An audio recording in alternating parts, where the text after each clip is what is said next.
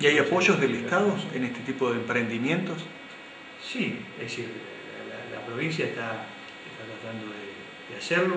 Nosotros, e incluso a, nivel de industria, mañana hacemos la presentación en, Rosario de un financiamiento verde que se llama, donde también además de, de nuestra secretaría va a estar el gobernador y el ministro de la producción, Carlos Facendini, donde se va, hay una línea que se da a través del Banco Municipal de, Rosario, que se va a dar a lo largo de, toda la provincia, y para aquellas industrias que, empleen la energía renovable, con, un, financiamiento de una tasa baja y y a 48 meses.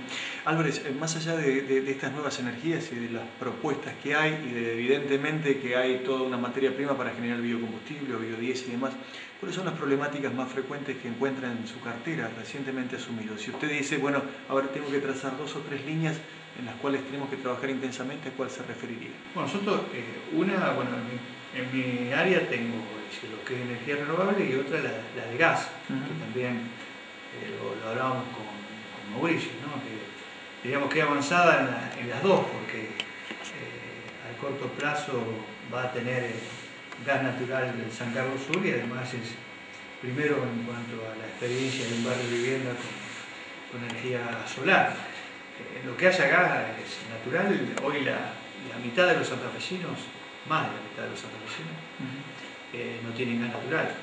De lo que hablamos de, de los 362 municipios de comuna, las dos terceras partes no tienen gas natural, ¿no? y otra ven impedida la posibilidad de, crecer, así que es una, demanda donde se están dando experiencias a lo largo de, la provincia.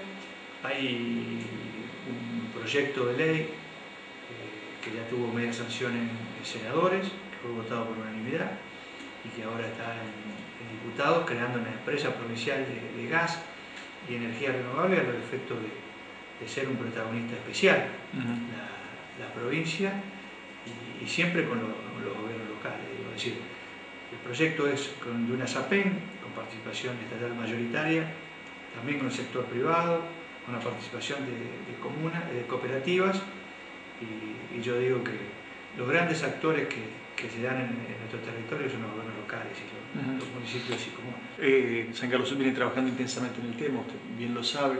Eh, Matilde le pasó lo mismo, eh, San Carlos Norte le pasó lo mismo, sin embargo no prosperan los proyectos. Cuando llegan a este, cuestiones burocráticas quedan estancados. Y estamos a 6 kilómetros San Carlos Norte de San Carlos Centro, Matilde tiene un ramal este, que es el que viene hasta San Carlos Sur que está a menos de mil metros, Digo, eh, ¿hay una posibilidad de destrabar este tipo de situaciones para que estos habitantes de nuestras, de nuestras zonas se den beneficiados con gas natural? Digo, las relaciones con Litoral Gas, eh, se, pueden pulir en base a su presencia ahora y en la creación de esta subsecretaría? Nosotros, nosotros tenemos que, trabajar en, esto particularmente con Enargas, ¿no? con el ente nacional.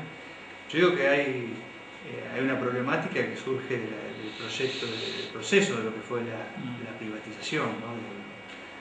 En la década del 90 eh, en muchos servicios y particularmente en lo que hace a, gas natural. Es decir, hay que, hay que articular donde ve que la empresa eh, reacia a, las inversiones y a veces le exige a, los propios municipios de comuna o, empresarios hacer determinadas ampliaciones en determinado nivel. Es decir, indudablemente nosotros, nuestra voluntad es trabajar para empujar este tipo de, situación. Una cosa donde estamos muy lejos de la posibilidad de, la toma de gas y otro es como los casos que, que está enumerando o como era el caso de, de San Carlos Sur.